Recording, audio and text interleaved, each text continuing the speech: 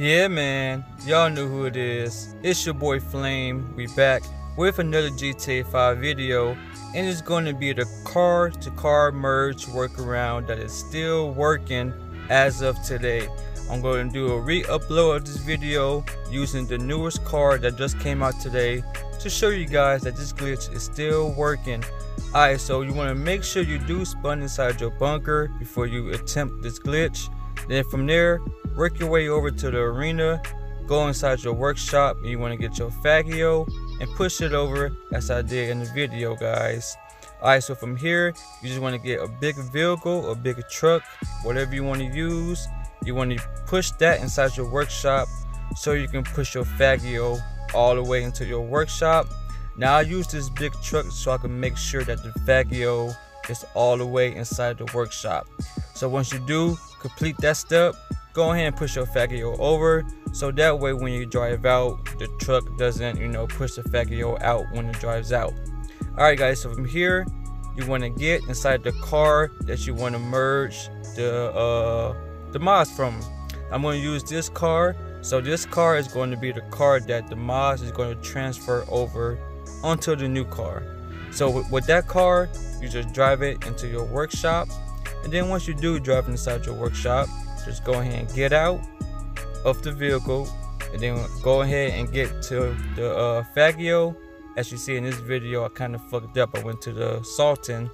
But as soon as you get out the car with the mods, you want to get out and hop on your Faggio. and then return your Faggio to the storage unit. Once you do return the Faggio to the storage, you want to get inside the car that you want to copy the mods onto. Like I told you guys, I'm using the Sultan that just came out today so I can show you guys that this glitch is working. Please make sure you please make sure you guys try to try the glitch out before you say it's patched. Everybody always talking about stuff is patched when it's not. It's all about timing, guys. It's all about timing. Alright, so here's the timing part. Once you do get inside the workshop with both cars, you want to wait until you are able to get out the car. Once you are able to get out the car, you want to get inside the car with the mods. So you know what i'm saying? It can just register all the mods that's on that car. So you want to get inside that car and then what i do i just leave the car out leave out the car or i just go to the you know repair or whatever repair it whatever you want to do.